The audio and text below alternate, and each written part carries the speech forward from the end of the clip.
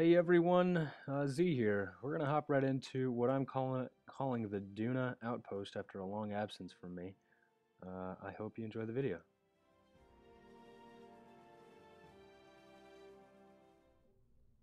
All right, so here we have our uh, Kerbin Station and launch um, sections, if you will. Pretty much packed anything and everything I could onto this thing. We've got plenty of power. We've got some xenon gas in there. Um, you know, anything that I could really fit is on there. So that'll uh, come in handy later. We got the uh, star cluster going on for the main stage, and then the mainsail engines uh, going up for our boosters. So without further ado, let's get this thing launched.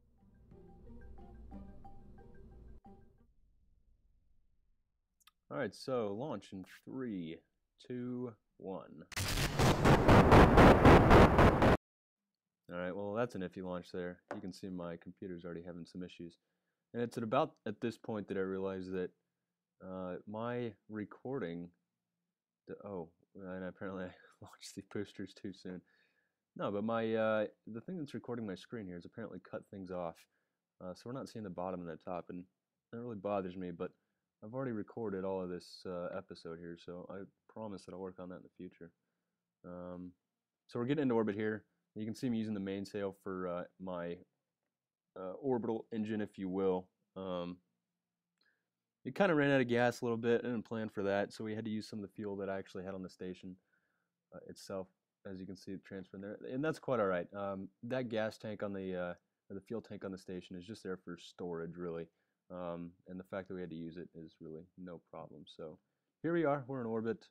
Um, uh, we're going to go ahead and move on to the space tug. Uh, here you can see the star engine formation again. Uh, as I mentioned earlier, this thing's just incredibly uh, efficient, uh, and so it's a favorite of mine to use. Coming on up, so we've got the nuclear engine on here, I do believe. Um, nope, I was wrong. So we've got just that standard engine to get us in orbit, and then here's our space tug. So I've got docking ports on either end here. This is all fuselage in the middle, no fuel. Um, got fuel right here, and then it's just decked out with you know electronics, um, hardware, you know batteries, just everything we're gonna need. now, when we connect it to the station, we're not necessarily gonna need all that stuff, but uh, it's gonna come in handy later, I'm sure.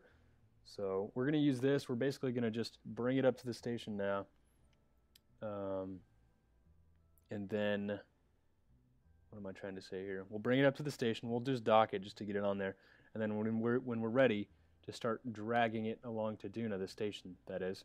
Uh, we'll flip it around um, so we pull it instead of pushing because I think physics wise and stability wise that's going to be better.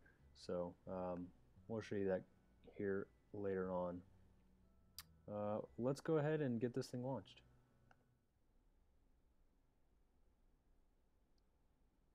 All right, uh, we're ready for launch in three, two, one.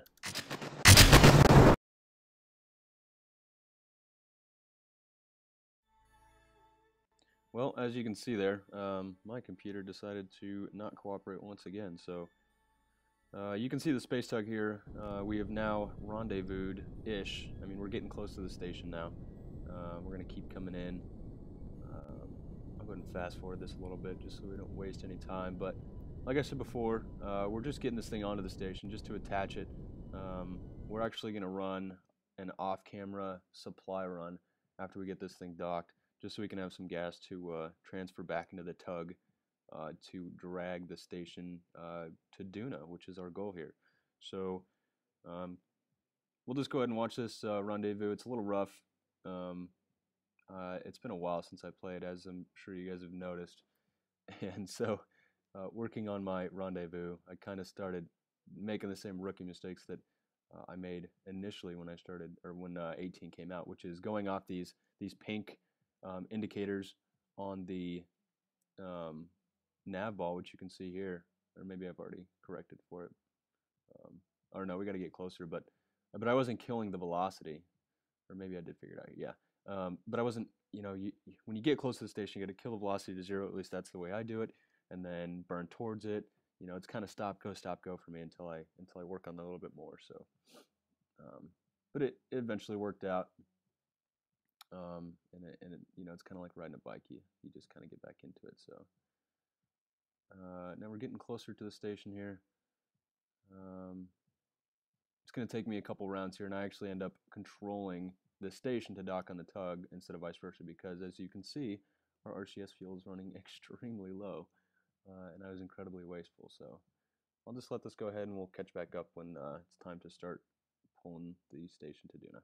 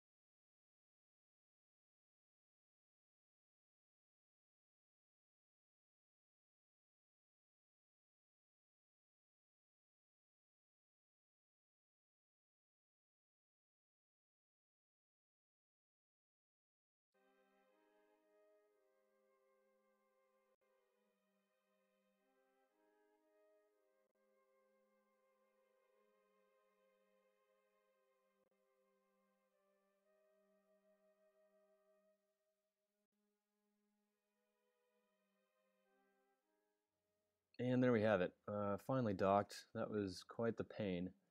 Um, hopefully I don't make those mistakes again in the future. Um, so we're going to do a little bit of uh, resource redistribution here. Uh, that's the whole point of having all the uh, resources on the station so we can start transferring it out um, into the tug here. So as we take care of that, uh, we're going to get oriented.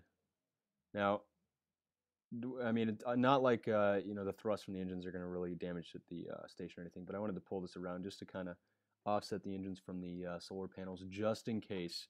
Uh, you know, I didn't want to get this thing all the way to Duna and have it, you know, blow off the solar panels because I don't have any of the uh, generators on. So there we are. We've turned it, or we, have turned the tug around to to pull the station instead of push it like I talked about earlier. I think that's going to work out better for us. Uh, now we're just getting set up for uh, the trip to Duna. Um, at this point, I have already brought up a, uh, a resupply, just a gas and uh, RCS resupply mission. I called it uh, KRN. Uh, those of you that follow the SpaceX news, you'll get that. we're calling it Kerbin Resupply or Commercial Resupply 1. Uh, which I will record more here, but uh, as you can see, you know, we're already making our way to Duna here, so that the future resupply missions are going to be all the way out to Duna, so that should be fun. Um, now, and I, I have to admit here, this is actually my uh, second trip to Duna. You see we got a satellite orbiting there, so that was my first, and I just did that a couple hours before we recorded this video. Um, but, you know, this is a learning experience for me.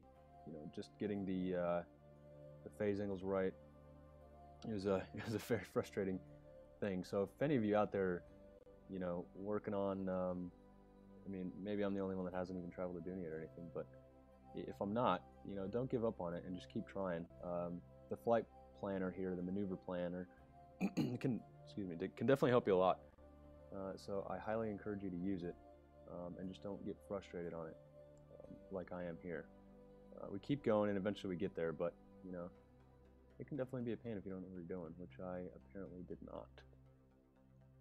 So we'll get there eventually, um, and, and I pretty much end up taking the long way here. Uh, I thought I had the angle right. Um, I was just totally messing this thing up. So uh, we eventually get it, and uh, we start our burn.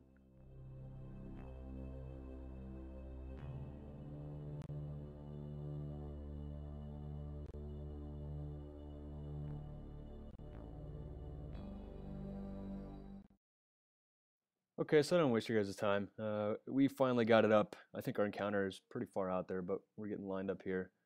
Um, and this burn's going to be forever. As you guys know, these nuclear engines are are extremely efficient, but don't put out very much thrust. So we kind of have a wobbly time here. Um, and like I said, we kind of take the long way. So you can see us burning. We're starting our burn. Uh, it was extremely long. I mean, the times are cut off because this thing wouldn't record right, but um, you know, this thing took for forever. I want to say probably nine minutes or something like that, or maybe maybe less, maybe a little bit more. I can't remember exactly. Um, and uh, we actually end up having some issues. My computer once again doesn't agree with me, uh, and we miss the uh, orbit and aero brake completely. Well, here we are. Uh, we are finally orbiting Duna. We get a pretty low orbit going on here.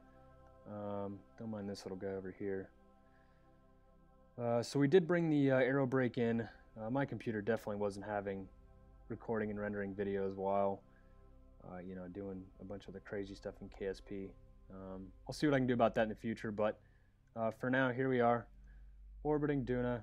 Uh, we have the, what I call, Duna Outpost. Now, this is going to be pretty much, pretty much the the future base for any uh, surface operations we're going to do to the surface of Duna. I'm trying to get ready for 19 uh, and the resource mining, so hopefully this will help. Uh, we'll have future videos here of supplies coming in, some other guys coming in, as well as the design, development, launch, and um, rendezvous of the vessels we're going to send to the surface. So uh, thanks for watching, and uh, we'll see you next time.